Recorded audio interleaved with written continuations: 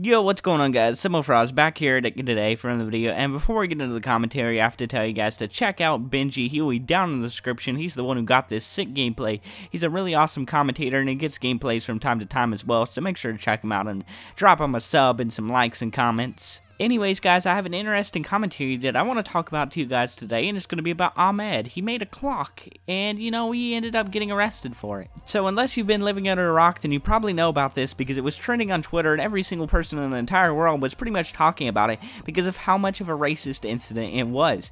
And this ended up happening in Texas, you know.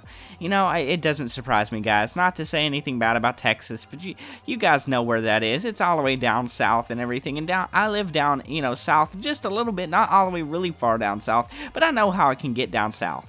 So basically, the dude was of Muslim descent, and he ended up going to school and he made a homemade clock, like at home. He made just a clock, and he wanted to show it in a science class or something like that. You know, he pulls it out and shows it, and the teacher, the principal, and everyone else thinks it's a bomb, even though he constantly says that it's just a clock and everything. And then, like, a bunch of police come in, escort, escort him, arrest him, threaten to suspend him, and then they tell him, they tell him, since he made this clock, that it was like something that could have been like a homemade bomb he was like bringing in something, a fake homemade bomb, so he's gonna get suspended for it and everything. So if you can't already tell how much like bullshit this really is, then I don't know what to say because this is absolutely and totally bullshit. It's the biggest racism I've ever seen in my entire life. If some kid pulled out a clock in like any other school or any other time and he wasn't a Muslim, he was just a normal person, nobody would say anything. Like I bring in shit all the time. I bring in my laptop, I bring in mics, I bring in random ass shit. Everyone does at my school and everything, and nobody says shit to us. No one. But you know what happens? You know what happens when a Muslim brings in something? Oh, it has to be a bomb. So you guys can see how this could cause a lot of controversy. Everyone was completely and totally disgusted by this. I was. I know that. I was completely disgusted when I read this article and everything. It's just completely and totally stupid. Just it infuriates me. But it got in so big. It got so big that Obama ended up tweeting out was like, "Yo, Ahmed, why don't you come to the White House and show us your clock and everything?"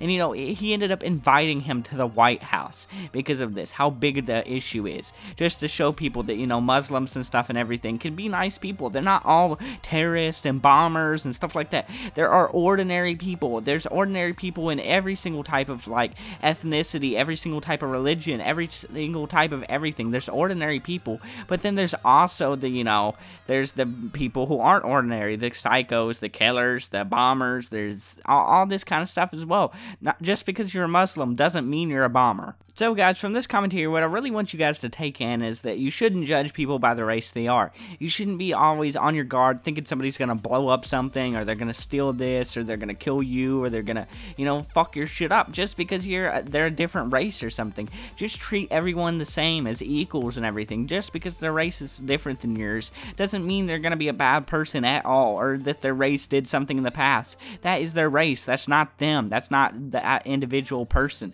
Not every single person person is exactly the same.